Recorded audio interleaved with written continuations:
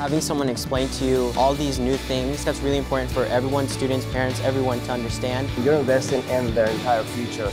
College is possible. Sometimes students, when they're in it, they don't even think beyond what's coming up ahead of them. I think my favorite part is just giving students the opportunity that I didn't have.